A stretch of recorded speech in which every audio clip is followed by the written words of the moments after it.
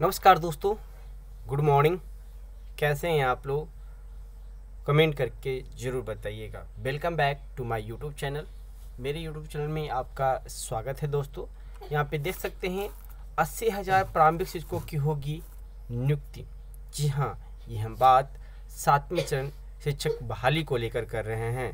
कल शिक्षा विभाग की तरफ़ से प्राइमरी के जो डायरेक्टर हैं, रवि प्रकाश की तरफ़ से एक लेटर जारी किया गया था।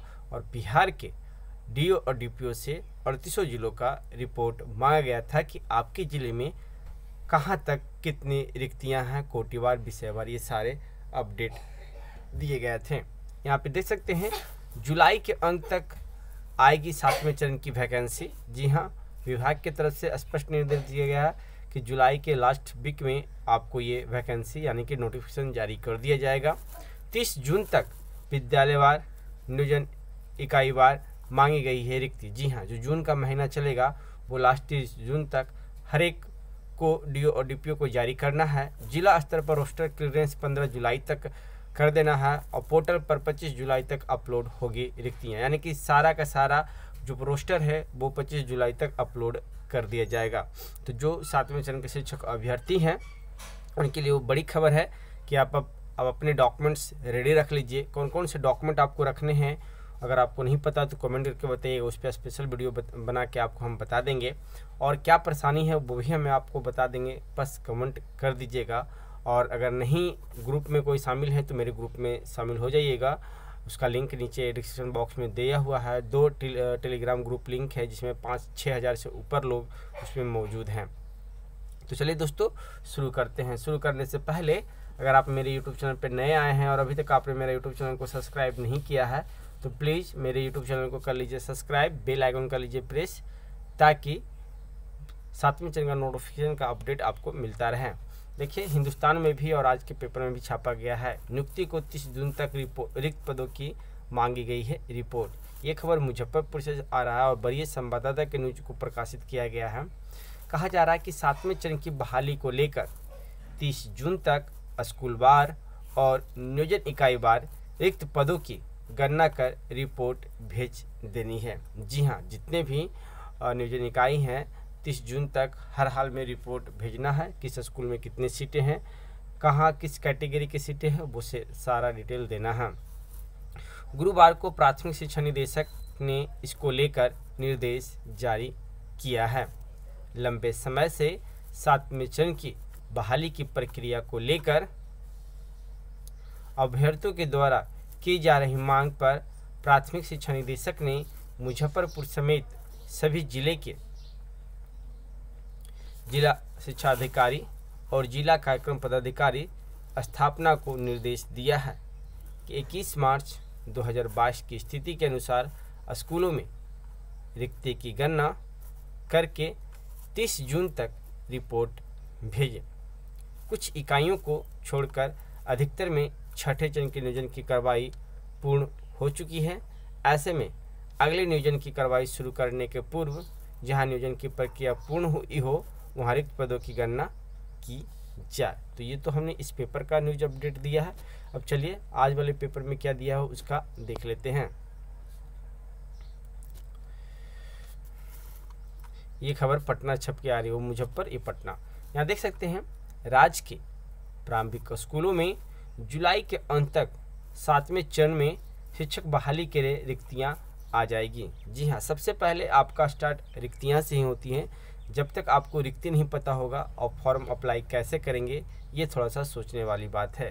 तो इसलिए रिक्ति की मांग की जा रही है कि कहाँ कहाँ कितनी रिक्ति हैं, उसी के आधार से आप फॉर्म डाल सकते हैं। तो सबसे पहले आपको रिक्तियाँ ही एनआईसी पोर्टल पर आ जाएगा ये कब आएगा?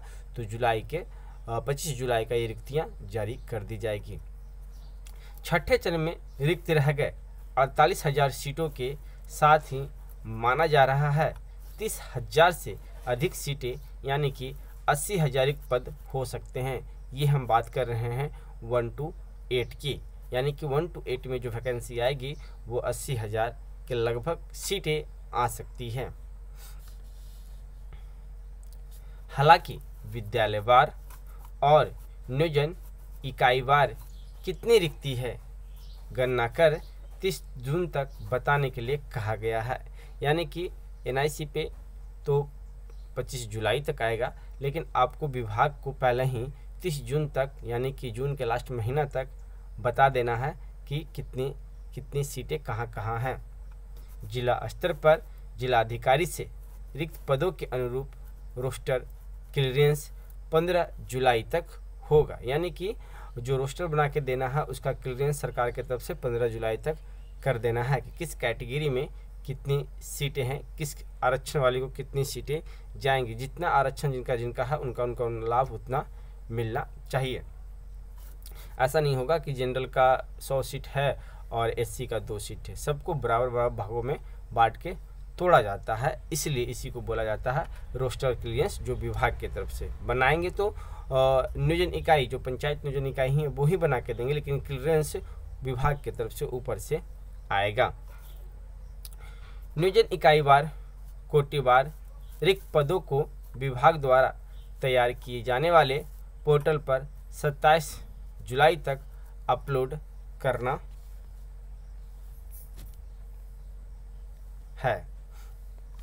इस बाबत प्राथमिक शिक्षा निदेशक रवि प्रकाश ने गुरुवार को सभी जिलों के जिला शिक्षा पदाधिकारियों एवं जिला कार्यक्रम पदाधिकारियों, स्थापना को पंचायत व नगर निकाय के तहत प्राथमिकी और मध्य विद्यालयों में मूल और स्नातक कोटि के शिक्षक के उपलब्ध रिक्त पदों की जानकारी मांगी है। जी हाँ जो जितनी बातें चल रही है, वो सारी के सारे प्राइमरी यानी कि वन टू एट की बात चल रही है। यहाँ पे साफ़ क्लियर कहा गया है प्राइमरी और मध्य विद्यालय में मूल और स्नातक कोटि के उपलब्ध रिक्त पदों की जानकारी मांगी गई है विभाग की तरफ़ से।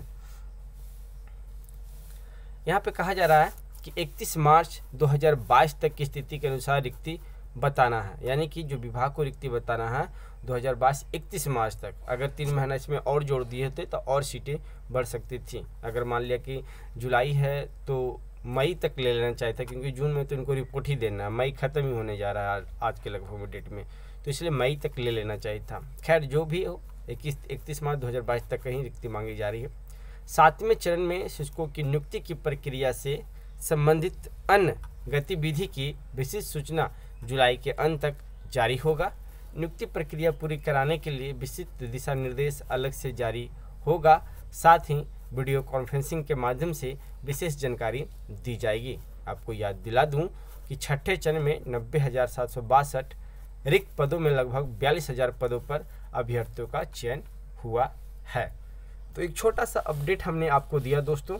और भी अपडेट आएगा सातवें चरण को लेकर तो उसका भी अपडेट हम आपको ज़रूर देंगे। फ़िलहाल ये वीडियो आपको कैसा लगी, आप हमें कमेंट करके बता सकते हैं।